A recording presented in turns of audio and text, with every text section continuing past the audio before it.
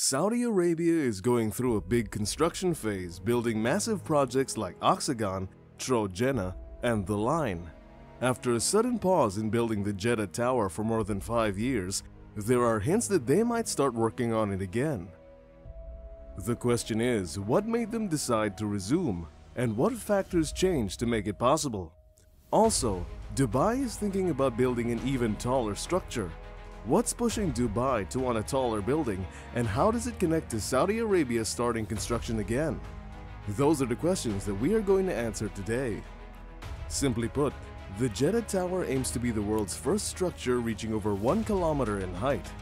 This skyscraper from Saudi Arabia seeks to surpass the reigning Burj Khalifa, which has held the record for the world's tallest building for over a decade. If completed, the Jeddah Tower could exceed the current record by 180 meters, assuming it only reaches 1 kilometer. Despite initial announcements of a minimum height of 1,000 meters, the actual height is a closely guarded secret, with early hints suggesting it might even approach a mile or 1,600 meters, doubling the current record. However, doubts about the feasibility of such a massive building arose after soil testing on the site. The true height may remain unknown until construction is complete.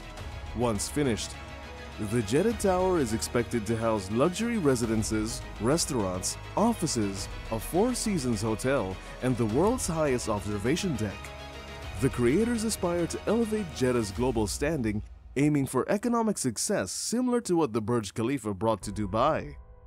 To trace the journey leading to this point, we need to rewind a few years. Designing the world's first kilometer tall building proved to be a challenging task.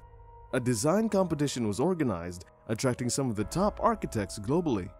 The winning design responsible for the breathtaking vision came from American architect Adrian Smith, renowned for his work on the Burj Khalifa and other super tall skyscrapers worldwide. Following the finalization of the design, the construction contract went to the Saudi-based Bin Laden Group, with a $1.2 billion USD contract to lay the foundations for the Jeddah Tower. Kingdom Holding Co., chaired by Saudi Prince Al Walid bin Talal, provided most of the project's funding. Construction commenced in 2013 after over five years of planning and bidding, progressing smoothly in the following years. By 2017, the main structure had reached 252 meters and foundation and piling work were reported as fully completed, marking a significant milestone. However, in the same year, the chairman of Saudi bin Laden and the owner of Kingdom Holding Co. were arrested amid the 2017 Saudi Arabian Purge, a series of mass arrests targeting prominent figures. Unlike projects like Neom and The Line, funded by the country's sovereign wealth fund, the Jeddah Tower is a private venture, heavily reliant on the financial backing of a few individuals. The arrest of these key figures had a detrimental impact on the project.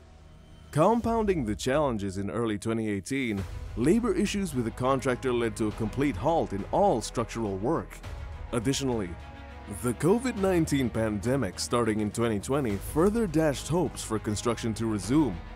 The combination of these setbacks has cast uncertainty over the future of the Jeddah Tower project. After a prolonged period of more than five years with no updates, it was revealed last September that construction on the Jeddah Tower is set to commence. The project's developer has taken the crucial step of seeking a new contractor to replace the Bin Laden Group.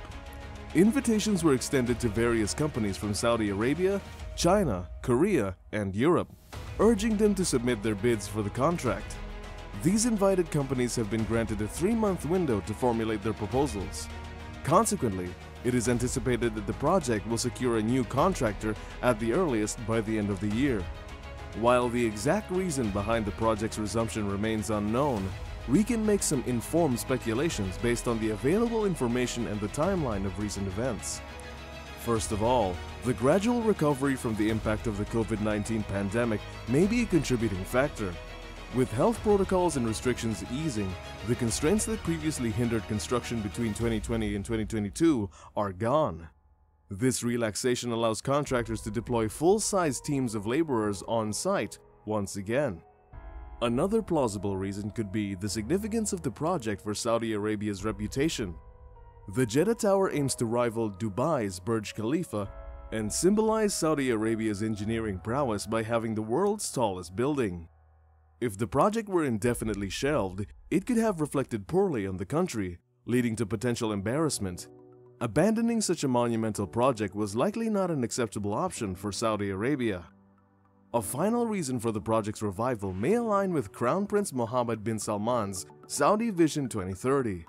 Although the Jeddah Tower is not a government-led initiative, its goals align with the broader vision of creating job opportunities and positioning the country as a global business and cultural leader. If construction proceeds smoothly and without delays, there's a possibility that the tower could be completed by the turn of the decade, supporting the broader goals of Saudi Vision 2030. While the Jeddah Tower stands as an impressive structure, it is just a part of a larger mega project known as the Jeddah Economic City. This massive development aims to rejuvenate the port city, famous for its resorts and historic districts.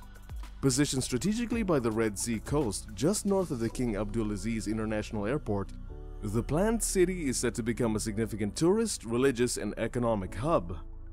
Covering a vast area of 5.2 square kilometers, the Jeddah Economic City is expected to cost up to 20 billion USD with substantial funding from private investors and loans from Saudi banks. At its core is the Jeddah Tower, a colossal skyscraper symbolizing Saudi Arabia's engineering and economic capabilities. Construction for Stage 1 of the city is well underway, with recent reports indicating that road network and landscaping work is 90% complete. Despite the controversy surrounding the arrest of the project's owner and main financial backer, Prince Al Walid bin Talal, the recent developments with the Jeddah Tower have significant implications for the rest of the world, particularly for neighboring Dubai. Dubai, having held the title of having the world's tallest building with the Burj Khalifa for 14 years, might not be thrilled about the news of the Jeddah Tower resuming construction. Losing this record to a neighboring country is likely not an ideal scenario for Dubai, considering how the Burj Khalifa has played a pivotal role in transforming the city into a tourist and economic hub.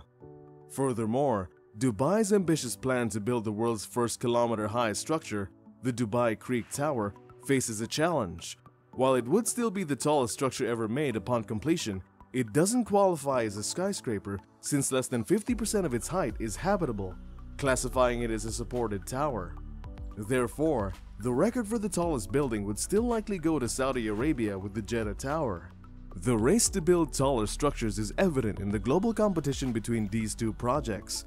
Both the Jeddah Tower and the Dubai Creek Tower faced delays due to the COVID-19 pandemic, and interestingly, as Saudi Arabia announced the resumption of the Jeddah Tower, Dubai revealed plans to redesign the concept behind their tower, suggesting a potential resumption of construction.